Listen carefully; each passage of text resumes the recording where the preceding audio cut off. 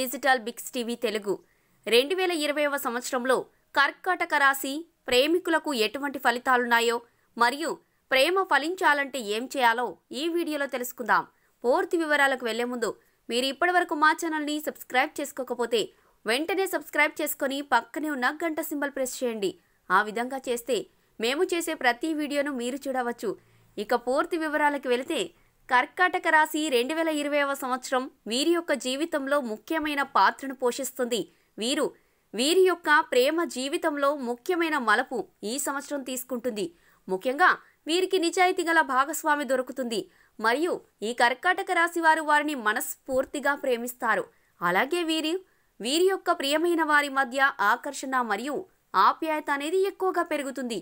వీరు మరియు వీరి యొక్క భాగస్వామి కోరుకున్న అన్ని ప్రదేశాలకు వెళ్తారు. మరియు వారితో ఆనందకర ఆహ్లాదకర సమయాన్ని గడుపుతారు.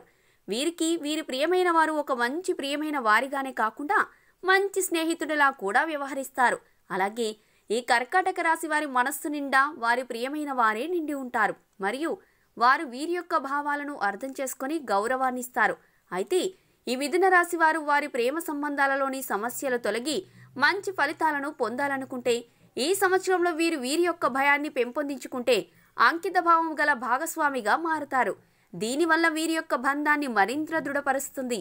అలాగే ఛాయ పాత్రను శనివారం దానం చేయండి.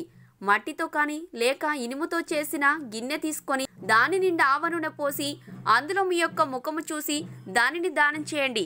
ఇలా చేసినట్లయితే అన్ని మంచి ఫలితాలను పొందుతారు. ఈ వీడియో మీకు నచ్చినట్లయితే లైక్ చేయండి షేర్ చేయండి. మరియు మీ అభిప్రాయాలను ఈ వీడియో కింద కామెంట్ రూపంలో తెలియజేయడం మాత్రం మర్చిపోకండి. Thank you. Thank